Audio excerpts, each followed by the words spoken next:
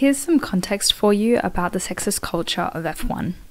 The next few clips will all be comments made by current or past F1 drivers. We put that red dress again with that really. Okay. Donde te una mujer, ahí sí ya, ya es el colmo. Entonces, mejor que se vaya a la, a la cocina. You've been practicing with that pit lane speed limiter. Yeah, I have. I've just been imagining it's your nipple. This is not just an issue of the past either.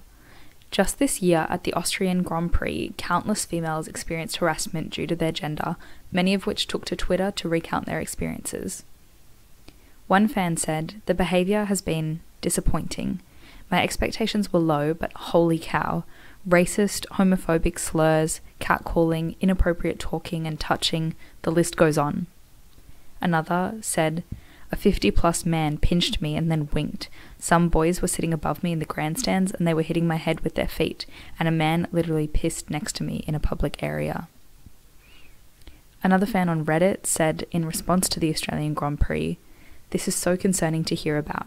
I went to my first F1 Grand Prix at Hungary last year and I was so shocked by the amount of sexism and harassment aimed towards both female spectators and also women working at the event.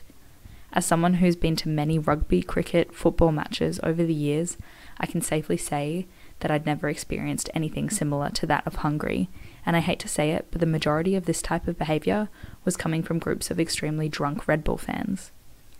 These examples are just to name a few, so how do us female fans persevere through this culture and remain interested despite?